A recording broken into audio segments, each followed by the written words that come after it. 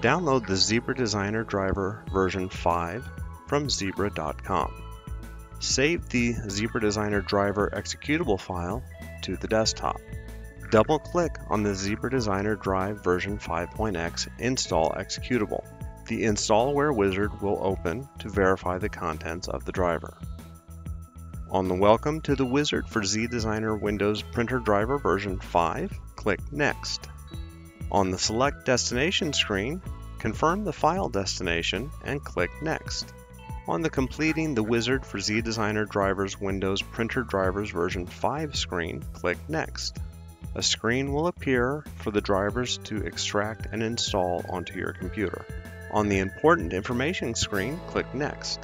On the Completing the Wizard for ZDesigner Windows Printer Driver screen, deselect View Release Notes and click Finish.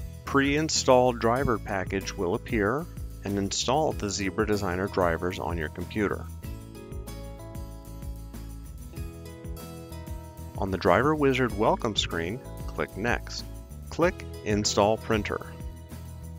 When the Select Printer screen appears, plug in the printer via USB turn on the printer, and select your printer from the printer's column on the right.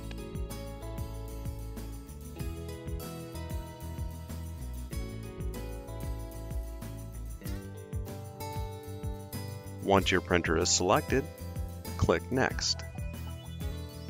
When the printer is already installed screen appears, click Update Existing Printer Drivers.